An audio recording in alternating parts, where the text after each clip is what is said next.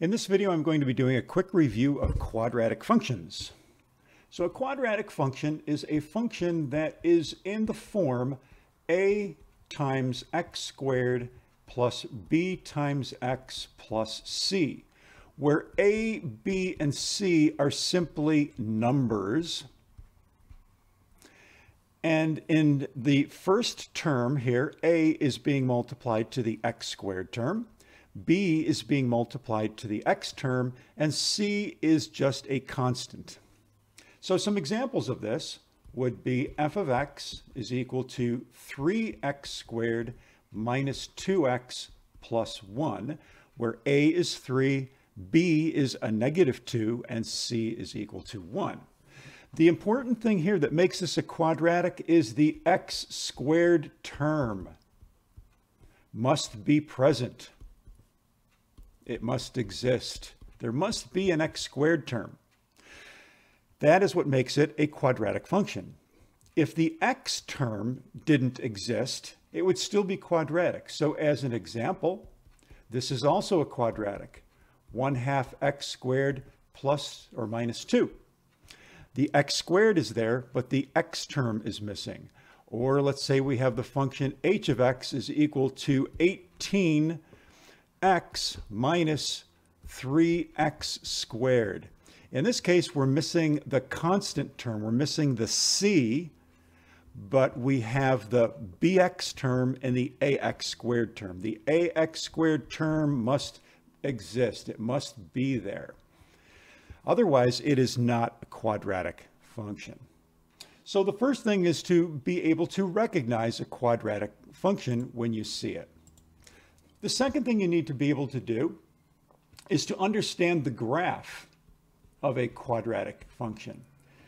And so the graph of a quadratic function is going to be a parabola. And the parabola is either going to look like this, it's what we call an upturning parabola, or it's going to look like this, which is a downturning parabola. And it goes up infinitely far or it goes down infinitely far if the domain is not being restricted. This point right here is called the vertex.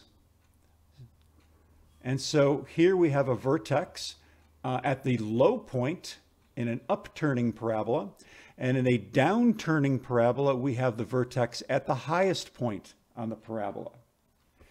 Now, an upturning parabola, the a value is always going to be greater than zero. So as an example, we have y is equal to 3x squared plus 10. The a is equal to 3, which is greater than 0. So this is going to give us an upturning parabola. A downturning parabola, the a term is going to be less than 0. So as an example, y is equal to negative 2x squared plus 8x because the A value is negative 2, which is less than 0, it is going to be a downturning parabola. So as soon as you look at a, a function, if you see a function y is equal to negative 2 thirds plus 8x minus x squared, you immediately know that this is a downturning parabola because here is the x squared term, and the a value is 1. It's a negative 1 because of the minus here, and so it is less than 0, and it is downturning. So you need to be able to recognize a, per, um, a quadratic equation and immediately be able to tell if, if it's an upturning or downturning parabola. The next thing that we want to be able to tell fairly quickly is the vertex. Now there's lots of ways of determining the vertex. Again, that's the turning point, okay? But the easiest way is to remember the little formula that you learned in algebra. x is equal to negative b over 2a. And the y value of the vertex is the function value at negative b over 2a. So as an example, let's say we have the uh, function f of x is equal to 2x squared plus 4x plus 12. Well, the x value of the vertex is negative b, which is negative 4, over 2 times a, which is 2, which is negative 4 over 4, or negative 1. So the x value of the vertex is negative 1. The y value then is equal to the function value at negative 1. So we're going to evaluate this function at negative 1.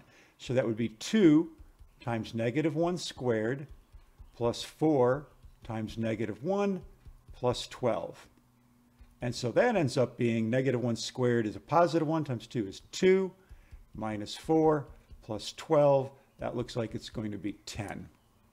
And so that means the vertex is at the point, the vertex is at the point negative 110. We also know that this is an upturning parabola because the A term is positive 2. The last thing that we want to be able to determine is the y-intercept. And this is pretty easy to do. The y-intercept is simply at the point 0, comma, c. So using this same example, we had f of x is equal to 2x squared plus 4x plus 12. The c value is 12, so the y-intercept is at the point 0, comma 12. So remember, the y-intercept is where the graph crosses the y-axis. So knowing what we know, we could make a quick little sketch, which I'll just do over here, of this parabola. We know that it's an upturning parabola. We know it goes to the point negative 1 and 10, so let's put 10 up here. Negative 1, 1, 2, 3, 4, 5, 6, 7, 8, 9, 10. Negative 110 is the vertex, and it goes through the point 0, 12, so very sloppy little graph here, but 0, 12. So I'm going to extend this up a little bit. Here's the point 12. And so it's going to be an upturning parabola. and of course, it doesn't look like a parabola, but it, there's the point 0, 12, the y-intercept. Here is the vertex, the point negative 110, and it's upturning. So you should be able to look at a quadratic function and tell the vertex, the y-intercept, and whether it's upturning or downturning fairly quickly. All right, that's it.